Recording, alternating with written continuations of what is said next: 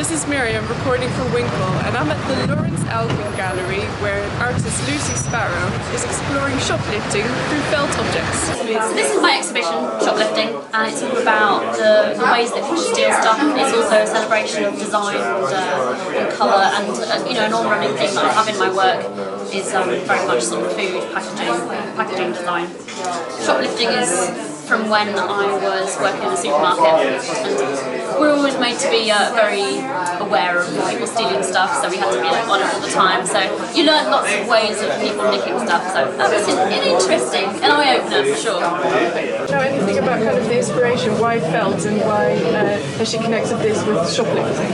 Um, felt because it's always been felt. She's never worked in anything else. Um, it's just something she's done straight from the off. I think art college she had an affinity with felt and it's just gone from there. The connection with shoplifting is there isn't a specific connection with shoplifting felt. She's um, she's done previous projects of sex shop, warmongery. She's it's more about highlighting social and political issues through sort of almost more of a, a naive and childlike material.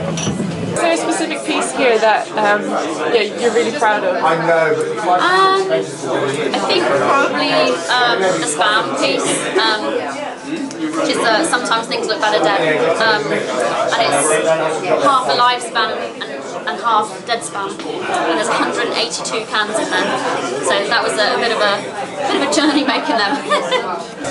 in this exhibition, Lucy Sparrow is successfully highlighting shoplifting with colours and unusual